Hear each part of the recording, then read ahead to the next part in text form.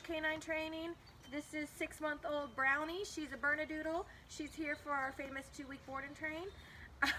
As you can see, she's very, very jumpy, very excitable. Um, not a lot of manners when it comes to jumping up. I'm just going to show you real quick what she can do right now. Brownie. Come.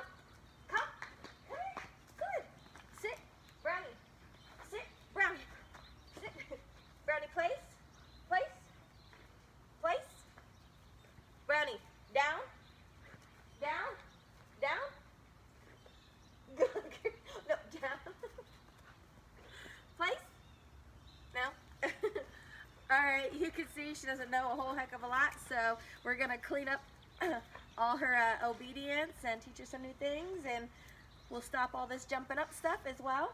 And uh, stay tuned for what she could do in two weeks.